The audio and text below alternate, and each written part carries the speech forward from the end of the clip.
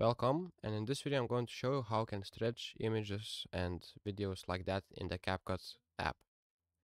So if you want to do this, uh, drag your clip right here, move your timeline and player like where you want to stretch it and what you need to do is go to the video, basic and where it says scale, go to the uniform scale and select this one and as you can see you will get two sliders. You will be able to stretch it and also make it bigger in vertical position. Also you can use your mouse. It is pretty simple like that.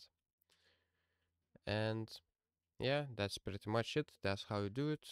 And if you found this tutorial useful and helpful please make sure to click subscribe button and comment down below if you have any problems.